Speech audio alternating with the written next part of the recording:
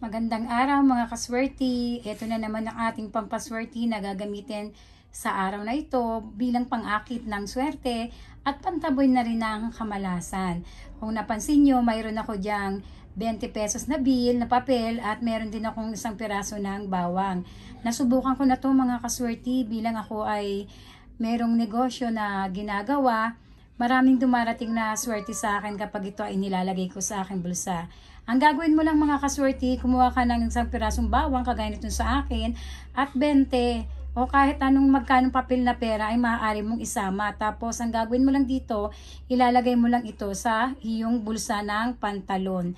Huwag mo siyang sasamahan ng kahit ano ito lang talaga yung ilalagay mo, tapos maaari ka nang umalis ng bahay mo, pumunta sa iyong pupuntahan. Maaari itong gamitin mga kaswerte kapag ikaw ay mag-apply na trabaho, o may meron kang mga meetings na pupuntahan para maging positibo yung lakad nyo at maganda yung magiging pag-uusapan at maiiwas ka rin sa mga kamalasan, sa mga negative energy, gayon din sa mga negative people gamit ang bawang. So eto mga kaswerte ang aking gagamitin sa araw na ito at ilalagay ko sa aking bulsa para pampaswerte ko sa araw na ito. Gawin nyo ito kaswerte, mabisa po ito.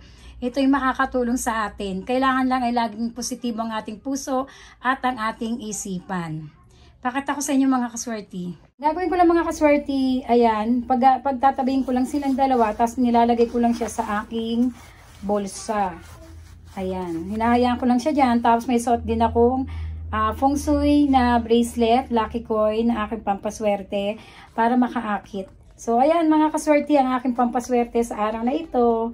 Maraming maraming pera ang darating sa akin ngayong araw na ito at maging maayos ang meetings namin sa mga kliyente namin. Magandang araw mga kaswerte!